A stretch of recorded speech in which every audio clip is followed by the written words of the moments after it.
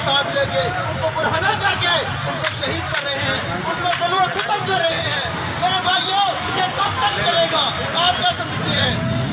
क्या वो रजा को बुला करके कर देंगे।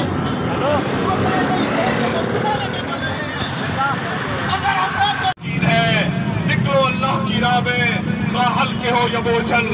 हमने इंशाल्लाह हर महाज पर चाहे हम थोड़े हैं चाहे हम ज़्यादा हैं चाहे हमारी आवाज़ जैसी भी है, हमने हमेशा हक का साथ दिया है।